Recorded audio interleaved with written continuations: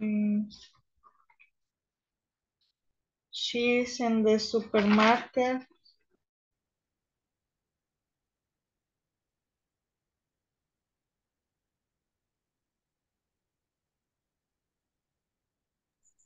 Estaría bien, she is a student.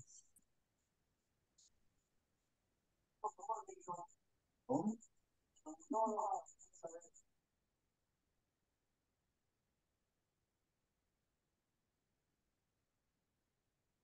dijo? She is a, she is a student. Vaya.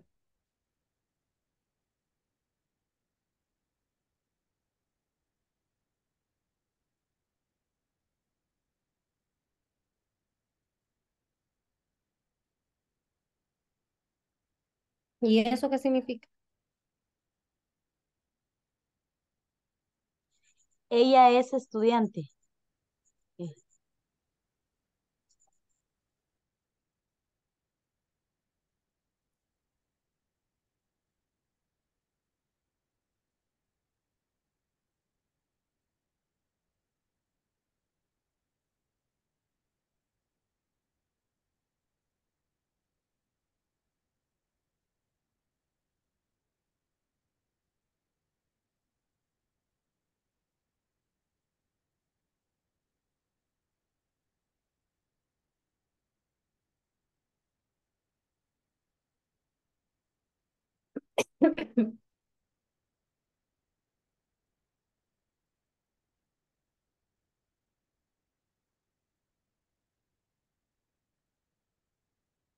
Hay que poner. He is in the park. Él está en el parque. No sé qué dicen. He is in the park. Ajá. Él está en el parque, ajá. Digo yo, no Sí. sé. ¿Sí? Bye.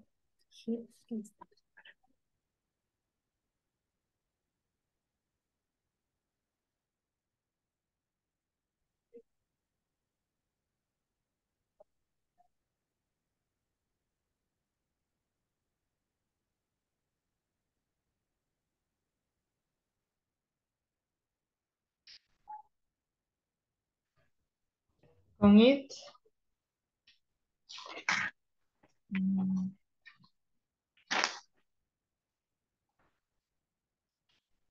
Esto es Eh, it is my bag.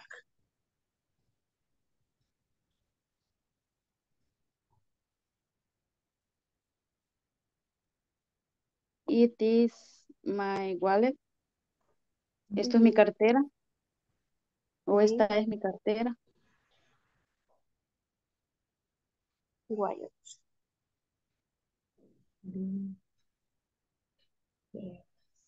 I mean, it is my car.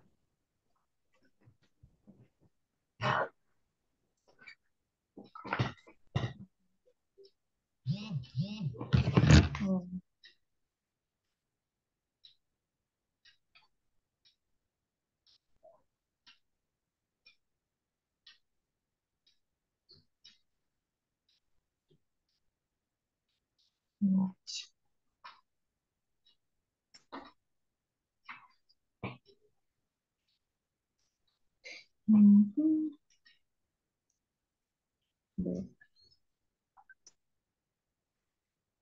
Teacher puede hablar aquí.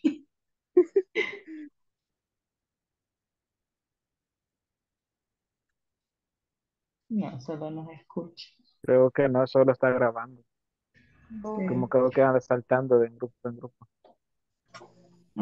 Sí, es que aquí me entraba una duda con el IT, pero ¿Con el cual, perdón? Ah, con el IT, Ajá.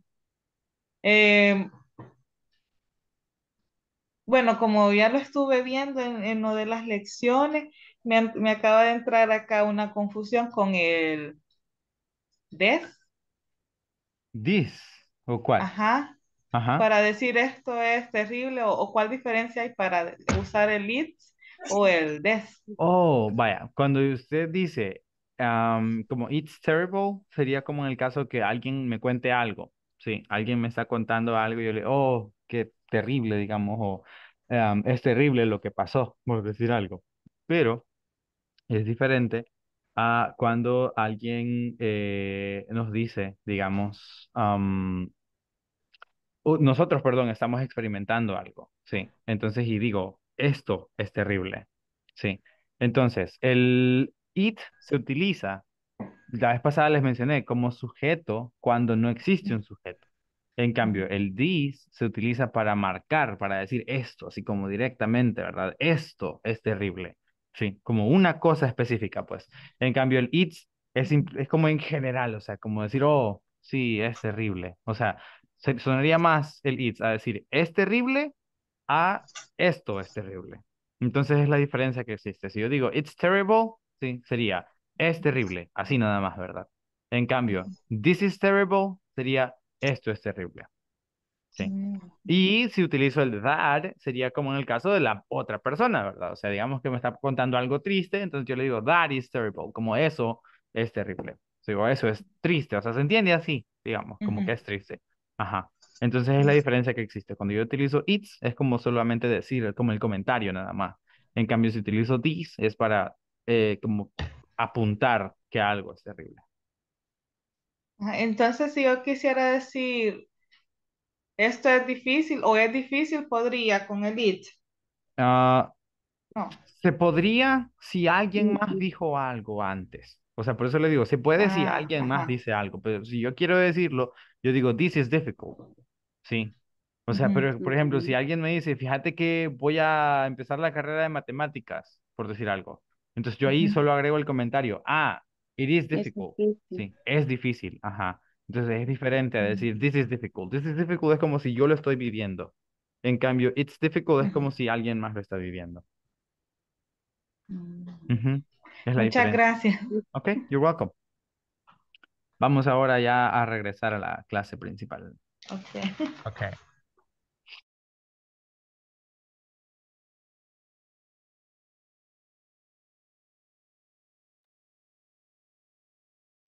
Ok, se nos extendió un poquito más de lo esperado el tiempo que íbamos a pasar en los rooms porque hubo una explicación de último momento para una, un tema específico, pero bueno, ya estamos acá.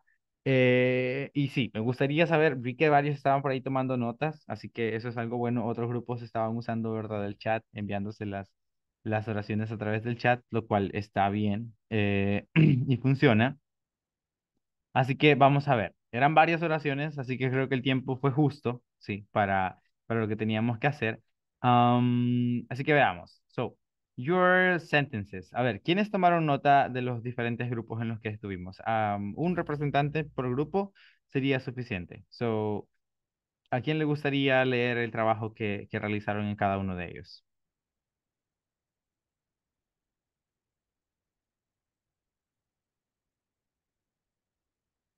¿O se proponen ustedes o los elijo yo? Ok, vamos a ver entonces. Am, Let's see. Ok, Reina, thank you. Justo estaba a punto de decir Reina. Vaya, en nuestro grupo estuvimos trabajando ahí algunas oraciones, por ejemplo, con el, teníamos una duda, teacher, con la contracción de I am, ¿cómo, cómo suena? Am, I'm, am, am, am. am. Ok, entonces, am Adam's teacher. Teníamos también ahí eh, am in the class. Ok. Eh, teníamos eh, glad because by my new cell phone. Luego tenía todas, Sí, todas. sí. Ok. Eh, tenemos con she, she is my best friend since, eh, since the kindergarten. Con his, he is my brothers. He is my general doctor. Con Ips tenemos ahí, it is my pet and his name is Firulais. Tenemos em, con where, a big, we're a big family. We're thinking about some examples for the English class. Okay. Y... Cuál me falta. Con they. Ujú. They are in the house. Y solamente. Esa Ok. alcanzamos a hacer. That's okay. Bueno, no está nada mal. Sí, me gustó esa, el, el we are thinking, oh, sorry, we are ah, thinking era, ¿verdad? Thinking uh, on exercises for the English class. That was a, that was a nice, uh, a nice sentence.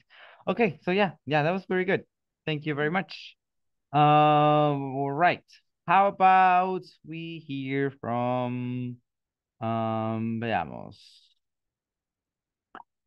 I think Lahiri was in a different group, so Lahiri, or was it in the same group? It's the same group right now with Oh, yeah. Yeah. Okay, yeah, yeah, that's right. Okay, how about we hear from from from from from from Alejandra?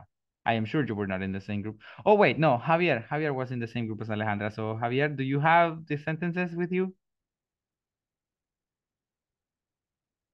Yes. Uh, Okay. okay.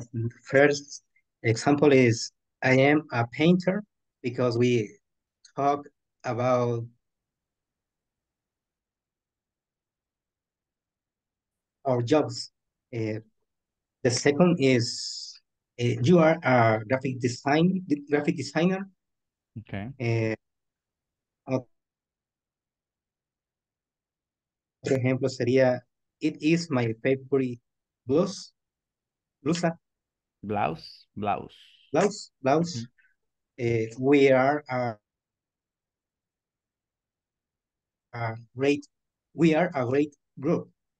Okay. Eh, another example, she is a, a student. eh, he is in he is in the park. We are an English student. Eh, and finally, they are the best band. Okay. Um, Nice. Very nice. Yeah, that's those are great examples as well. Very, very good. Um, so yeah, I like them very much. Thank you, thank you.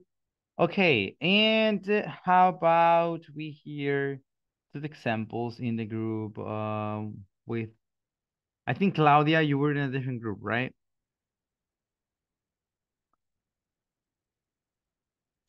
Eh, yo estaba en el grupo de Javier. Oh, okay. Okay, sorry. Um, how about in the case of uh Yesenia? Yo también. Dang it.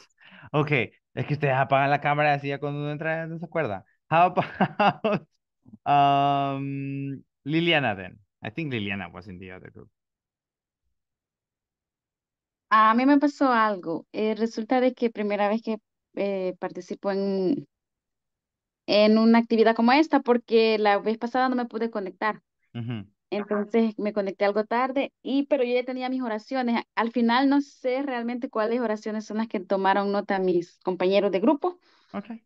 Eh, porque también tenía un poco de mala conexión, pero yo ya tenía algunos ejemplos. No sé si los puedo compartir eso, porque la verdad no sé realmente qué es lo que el grupo concretó. Está bien.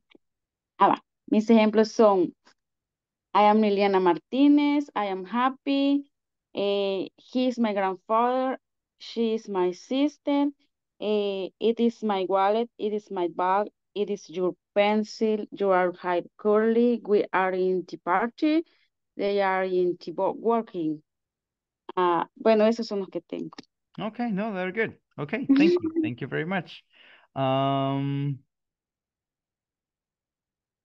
okay, um, okay. Let's see. Great, very good. So, eso es entonces el verbo be, sí. Y algunas, ¿verdad? De las contracciones, que básicamente es como eh, la forma más común de utilizarlo. O sea, todas las formas del verbo be, por lo general, se van a utilizar así. Es bien, bien raro que ustedes se vayan a, a- encontrar con oraciones en las cuales el verbo be no se utilice contractado. Por lo general, es así que lo vamos a usar. Ahora, tenemos acá otras, sí, eh, como estructuras que serían, ¿verdad? Eh, las preguntas. Estos que estábamos viendo eran simplemente oraciones eh, pues, digamos, oraciones sencillas, oraciones positivas.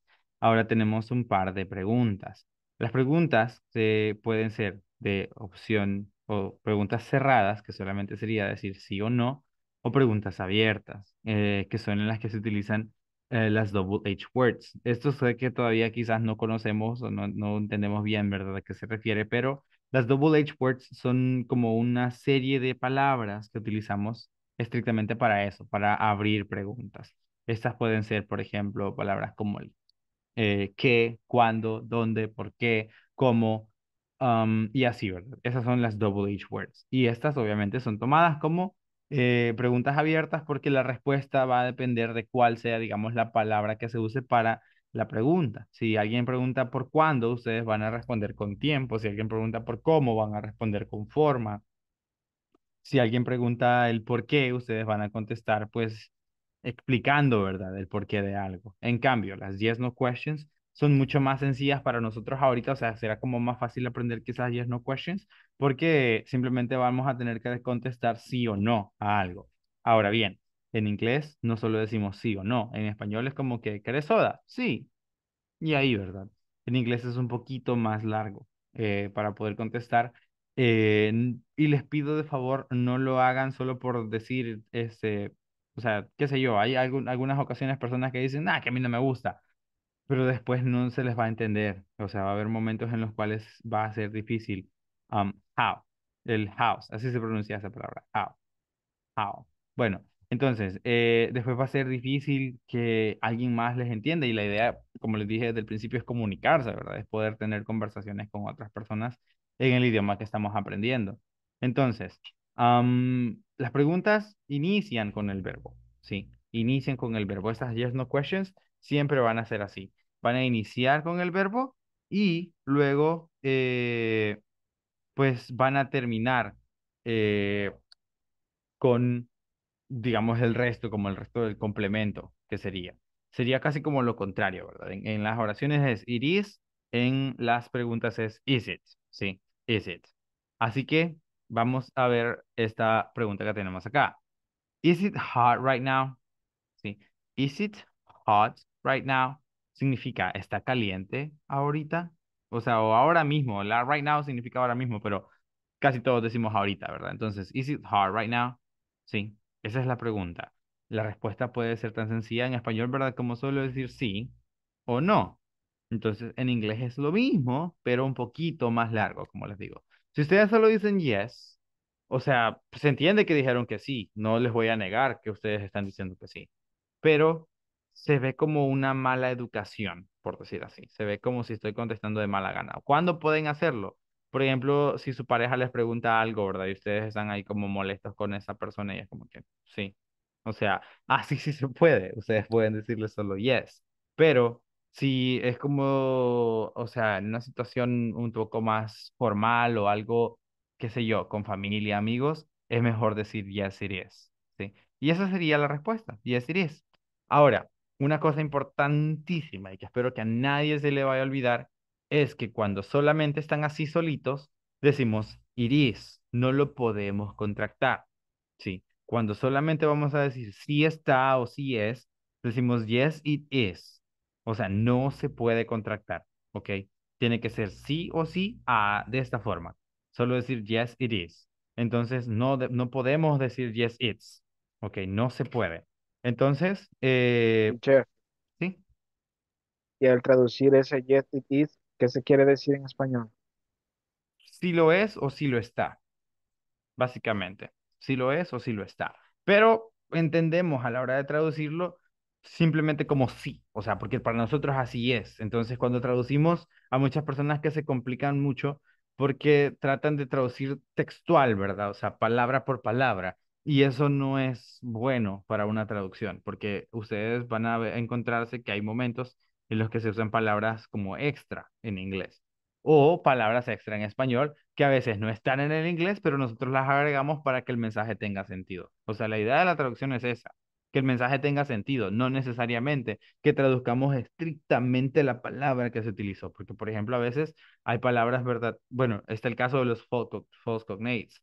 Hay personas que a veces traducen el false cognate directamente. Cuando hablo de false cognates, hablo de palabras que se parecen en inglés, pero que tienen un significado totalmente diferente. Como que alguien dijese, por ejemplo, I feel embarrassed. Entonces, y más y todo, eh, más que todo si es una mujer, ¿verdad? Que dice feel embarrassed y alguien lo traduce, me siento embarazada. Eso está muy, muy, muy equivocado. Porque el decir I feel embarrassed significa me siento avergonzado. Sí, o sea, que me siento pues como apenado, digamos. Eso es decir I feel embarrassed. Entonces hay personas que a veces traducen siguiendo cada palabra, o sea, y no pensando a veces en qué significa de verdad esta palabra, cuál es el significado que tiene. Porque embarrassed, o sea, para decir embarazada, más bien en inglés se dice pregnant. Entonces nunca alguien que diga I feel embarrassed va a decir que se siente embarazada, sino que está diciendo que se siente avergonzada, o sea, como apenada en la situación en la que está en ese momento. Entonces, por eso mismo es que en ocasiones no va a ser necesario, ¿verdad? Decir si lo es o si lo está. O sea, porque después van a sonar raros ustedes en español cuando alguien le pregunta, ¿tenés hambre? Y ustedes digan, sí lo es. o sea, o, o lo estoy. Va a ser raro que digan así. Así que mejor acostumbrarnos a simplemente traducirlo como lo decimos en español. Si tenés hambre, sí, hasta ahí. O sea, no decir sí lo estoy, sí, porque pues ya complicamos, ¿verdad? Bastante, o ya estaríamos complicando bastante eh, nuestro idioma también. Así que esto, a pesar que se puede traducir como si lo es o si lo está, simplemente lo vamos a traducir o entender como sí. Ahora, en inglés, si lo vamos a utilizar de esta forma, yes it is, o para la negación, aquí sí se puede contractar. ¿Y por qué preguntarán ustedes? Bueno, sencillo, porque tenemos una palabra más. O sea, no solo son el it y el is, sino que tenemos not ahí en medio. ¿Sí? Entonces sería no it's not o no it isn't. ¿Sí? A ver, cosa importante a mencionar. Cuando utilizamos las yes no questions, el decir no it's not es entendido como algo más serio o incluso como si ustedes están molestos. ¿Sí? Si ustedes dicen no it's not, eso se va a entender como que ustedes están molestos por algo. ¿sí? Decir no it's not. En cambio, si decimos no it isn't, se entiende como un poco más amigable, una respuesta que es un tanto más amigable. Si yo les pregunto, por ejemplo, is it hot right now? ¿Está caliente ahorita? Y ustedes dicen no it isn't, se entiende como una respuesta, ¿verdad? Simplemente contestando a lo que me preguntaste. Yo dije no. O sea, en español dije no. Eh, si lo fuésemos a traducir, como dijimos antes, dije, dijésemos no, no lo está. ¿Sí? En cambio, si digo no, it's not, hasta la misma, hasta el mismo tono, ¿verdad? Suena como un poco más grosero, como un poco más violento, como un poco menos amigable. Entonces, esa es otra cosa importante, eh, tomar en cuenta, ¿verdad?, cuál opción vamos a usar. Ambas son válidas, ambas se pueden aplicar en cualquier momento que haya yes, no questions, pero lo mejor es eh, quizás el utilizar el no it Bueno, pero mañana vamos a hablar más acerca de esto, acerca de las preguntas y tal. Uh, for now, basically, all we had left to do is simply, um, well, close the class. So, yeah. Um, me gustó bastante, verdad, cómo estuvimos trabajando con las oraciones. Vamos a estar haciendo actividades así porque, pues, lo importante es que ustedes puedan trabajar juntos, ¿verdad? Y comunicarse entre ustedes, because that's the idea, after all. Um, so, yeah. For now, thank you guys very much for your attention and participation in this class. I hope you have an amazing night, and I also hope I will see you tomorrow again. So, bye bye for now. Have a good night.